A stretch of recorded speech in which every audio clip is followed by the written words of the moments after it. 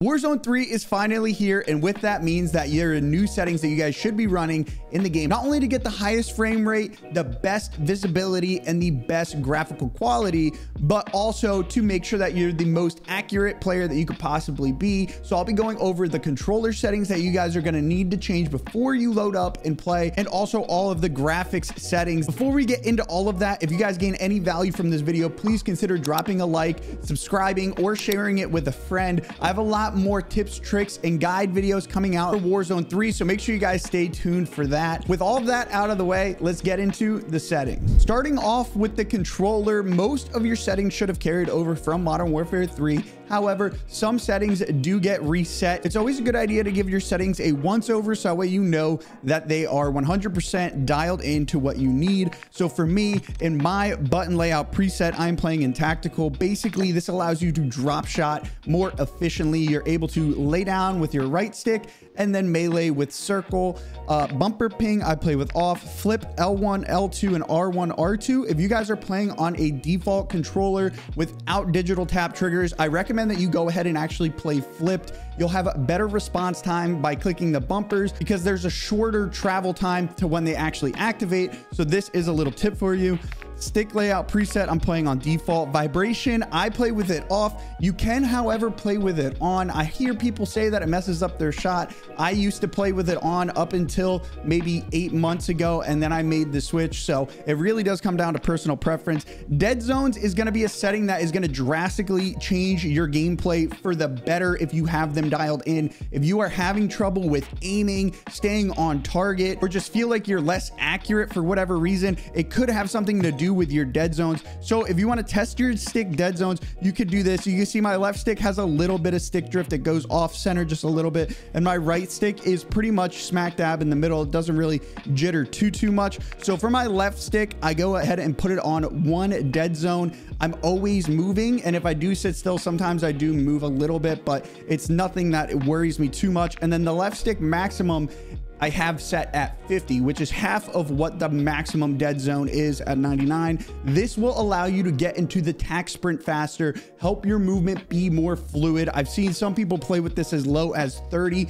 I recommend doing it on 50. Uh, go ahead and give that a try. My right stick, I do have this on a three dead zone. Like I said, I don't have stick drift, but if I was to have stick drift, uh, three dead zone is a safe bet. Obviously, if you guys do have stick drift, bump this up by one and then do test stick dead zone and and see if your stick is moving at all. If it is, keep bumping it up until it isn't. But three is what I'm playing at. Left and right trigger, I have this set as one. Again, you want it as responsive as possible. Getting into aiming, lower sensitivity is typically what most of the high level players play, specifically in the CDL and even on the Warzone side of things, a lot of Warzone pros play on a very low sensitivity. So for my horizontal stick and vertical, I play on a 6-6 sensitivity. Moving down, my sensitivity multipliers are all default at 1. Vertical aim axis, I have all at standard.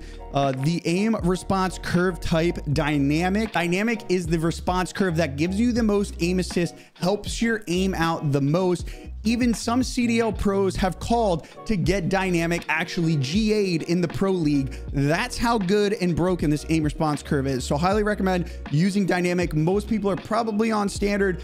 It's gonna be weird at first when you switch to Dynamic pretty much every single Warzone Pro plays dynamic. If you guys haven't at least tried it, go ahead and do that. ADS sensitivity transition time. I have this on instant. You want your sensitivity to change over as fast as possible. It's going to give you the most consistency and fluidness in game. I do run custom sensitivity per zoom. I do recommend if you, again, if you guys are feeling less accurate, if you're feeling like aim assist is less, go ahead and bump down your ADS sensitivity multiplier by 0.05. So typically I play 66.9 in MW3 and Warzone 3, I was having trouble staying on target. And so I actually bumped it down 0.05 and it made a world of difference. But if you guys want to copy my sensitivities, they're here. If not, no big deal. Again, it's all personal preference at the end of the day. Target aim assist, obviously have that on. If you don't have it on, you'll definitely have a hard time staying on target. Uh, then you have your aim assist type. I play on default. I have heard good things about Black Ops. I haven't really given it a go in Warzone yet. In multiplayer, I did like the feel of it, but ultimately I ended up back on default. The ADS aim assist, obviously you want that on again. Motion sensing behavior, turn that off. And then I don't even know what's in the advanced settings. Getting into gameplay, automatic tac sprint. If you want to be a movement demon, a certified Joe, if you will, you're gonna want automatic tac sprint on. Basically, it's gonna make it so that way your character automatically tac sprints as soon as you click forward on the left stick. Slide maintains sprint. Turn this setting on. Basically, after you're done sliding, you can go ahead and just sprint right out of it. It saves your left stick. If you have automatic tac sprint on, it kind of doesn't really matter, but I have it turned on just because. Auto move forward, I have this turned off. There's not really a time where this comes in use for me personally. Um, tactical sprint behavior, I have this on tap to sprint. Ground mantle, you want to turn this off, or grounded mantle, you want to turn this off. This will stop you from jumping uh, over railings, side mantling, back mantling, stuff like that. This will save you in a lot of gunfights, specifically ones near stairwells automatic airborne mantle. Again you want to turn this off. You're gonna have to click extra buttons obviously having these off. You're gonna have to kind of jump and then jump again once you want to latch onto something but it's going to be better in the long run. Automatic ground mantle and hang turn that off as well. Slide and dive behavior that put it on to slide only. It makes the slide canceling and the movement in the game significantly better. It gets rid of the weird delay where your controller's trying to figure out okay he's pressing the crouch button or the slide button. Does he want to dive or does he want to slide? If you have it where you can do either, it takes longer for the input to take place because the game's trying to figure out, does he want to slide? Does he want to dive? Having it on slide only makes it instant. The responsiveness is crazy. It makes a massive difference in your movement in game. I promise. Switch it to slide only. Go ahead and put plunging underwater. I have this as free parachute auto deploy put this off. This will allow you to parachute closer to the ground. So that way you go ahead and are able to get to the ground faster. You're not going to get in weird situations where you're kind of hanging out above an enemy. Uh, with this being said, if you're not used to playing with this off, just be careful not to splat. Sprinting door bash, you want that on ledge claiming. You want it on mantle only. Aim down sight is hold. Change zoom activation as sprint tactical focus just for holding your breath in the sight equipment behavior on hold, weapon mount, all this is pretty much default. You do want to change this to be short weapon mount exit delay. You want everything as fast as possible in Call of Duty. And with being as fast as possible, it's going to be your looting. This is going to be a game changer. You have the interact slash reload behavior. Most people probably don't remember that they even have to change this, but you have to put this to prioritize interact if you want to just be able to tap square and loot things. If you want to tap square, switch weapons, tap square to open a chest, anything like that, you want to have it on prioritize interact. Armor plate behavior, I always have it as apply one. I constantly am holding my triangle button if I have to put in multiple plates. I'd rather be in control of kind of when I'm done plating and when I when I want to keep plating personally.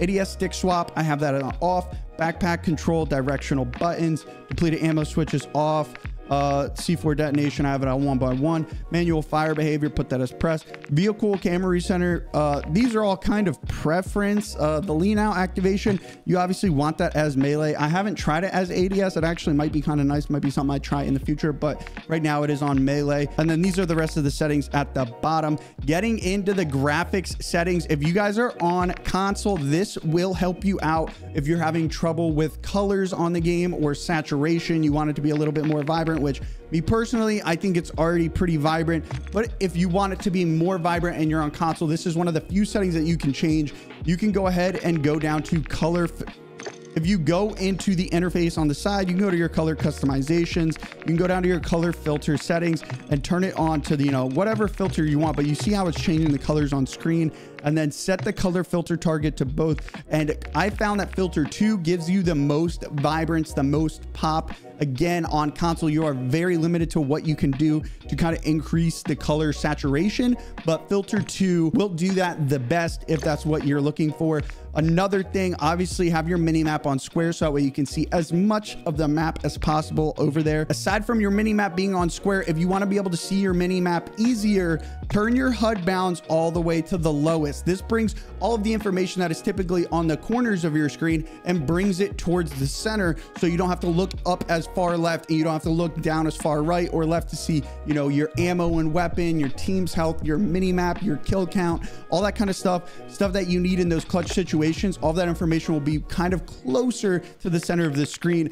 Crosshairs, this is something that I think a lot of people have not changed either. With your crosshairs set to on, you see how that center dot kind of wiggles around and the crosshairs aren't static. They kind of shift around. So that center dot is actually sitting completely still in the center of my screen. The crosshairs are actually wiggling around that center dot. So if we go into our settings, go into our interface where we were, turn our crosshairs from on to static, this will make it so that your crosshairs stay stationary. Obviously, you want to have the center dot on as well. This will help with your centering when you're trying to get on target. You see how all of that stuff is not moving anymore. The crosshairs are static and the center dot is static. It just makes it so that way if you're centering on targets along the way or far away, it's easier or even closer. It's just you can keep your, you kind of know where your weapon is looking at all times. All right, now getting into the graphic settings for all of my PC people, these settings come straight from the man, Foves. He is the PC optimizer of pretty much a lot, if not all of the Warzone scene. He always puts out the best possible settings to get the highest possible frame rate. And these are the ones that I stand by and I use all the time. I get phenomenal performance with them. So I'm just going to run through them very quick. Obviously, you want to have your screen refresh rate matched up to what your refresh rate is on your monitor. Brightness is one of those things that it is preference. NVIDIA Reflex Low Latency, I have this on plus boost. Eco mode preset, you want to have this on custom. Mine was on efficiency by default, so double check that setting. VSync off, VSync gameplay and menus both are off. Custom frame rate, you can set it to unlimited. I like to limit my frame rate in the menu and have my gameplay frame rate match my monitor refresh rate. Uh, moving on focus mode, I have this on zero. HDR, turn that off. Getting into quality, obviously you're gonna have it set on custom. Make sure your render resolution is at 100, dynamic resolution off. The Fidelity FX CAS is basically sharpening in game. This is gonna make your game pop looks so much better. You're going to be able to see targets easier if you have Fidelity FX CAS on and make sure it's turned up to 100. Obviously, you can turn it down if you don't like it that much, but highly recommend you use it and you have it on 100. My VRAM scale target is at 80. Variable rate shading is on. Texture resolution is going to be normal. The texture filter is on normal. Depth of field is off. Detail quality level normal. Particle resolution very low. Bullet impacts, I have these on. Persistent effects are off. Shader quality low. On-demand texture streaming is off. If you do want your camos and other things to look better in game, you can turn this on. Obviously, it's going to be a hit to performance, but your game's going to look better. You kind of have to find the balance. I personally play with that on, but for the purpose of this video, I have it turned off. Local texture streaming quality low. Shadow quality is on normal. Screen space shadows on low ambient on off, screen space reflections off, static reflection quality low, tessellation on near, volumetric quality on low, deferred physics quality off, weather grid off, water quality off. Now getting into the view, it is important that you guys are playing on 120 FOV. If you want, obviously this is going to reduce the visual recoil. Pretty much all Warzone plays play on 120, all CDL pros between 95 and 105. So you kind of have to find what works for you, but I do recommend playing on affected field of view and your weapon field of view to be on wide. Uh, same with your vehicle field of view. If it's on wide, you'll be able to see further around the sides. So if you're 3Ping around in a vehicle, you can see a little bit more. Make sure all of these match though, that your world motion blurs off, your weapon motion blurs off, your film grains on zero, and your first and third camera movements on 50%. Uh, you do want these settings to match mine exactly. These will make a world of difference in your gameplay. I pinky promise, bro. I promise, promise, promise.